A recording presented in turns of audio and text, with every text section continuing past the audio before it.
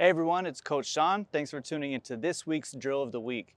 Today we're going to be going over two of the weighted ball throws that you should be doing every time before you throw a baseball or a softball. So today I have the 3.2 inch 20 ounce ball and the 3.2 inch 16 ounce ball. The first one that we're going to do is a reverse toss. The second one that we're going to do is a walkthrough. Now a couple keys to the reverse toss. If I'm a right-handed thrower, my right knee is going to be down. Left-handed thrower, left knee will be down. For this one, I'm going to use the 20 ounce ball. To start, I'm going to have both hands out in front. My chest is going to be just over my knee, so all my weight out in front. From there, I'm going to reverse toss and make sure that my eyes and my head follow the ball as it hits the wall. Now what this is designed to do is build all of our decelerator muscles in the back of our shoulder, okay?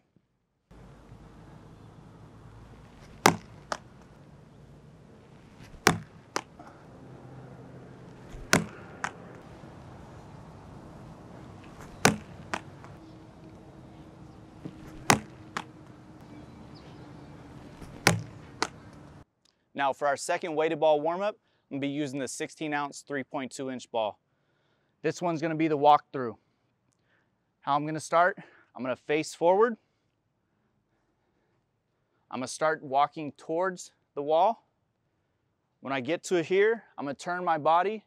My right foot's gonna go behind my left, lift, and throw. Now, one of the big keys is make sure you situate your body. Okay, so as I'm walking towards the wall, I'm gonna get to here, my chest's gonna be facing forward. Then as I turn and my right foot goes behind, I wanna get into my throwing position from right there. So leg lift and then throw.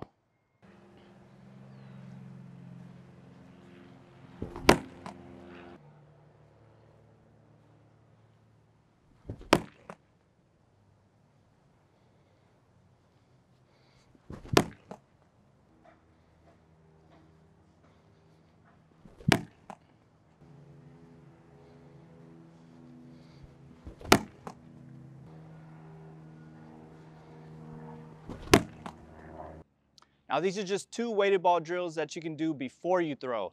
If you add this to our power bands program, which is our resistance bands, your arm's gonna be nice and ready to go before you throw. Both of these products, along with our power bands, are linked at the bottom of the description. Go ahead and check those out, along with all of our other products on our Amazon storefront. Thank you for tuning in to this week's Drill of the Week. Make sure you tune in to next week's as well.